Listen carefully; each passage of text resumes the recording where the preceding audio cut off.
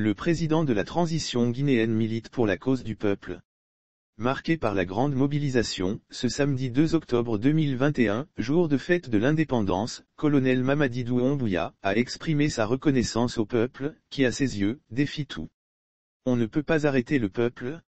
Je pense qu'il faut faire ce que le peuple veut. Le peuple est avant tout et sera avant tout.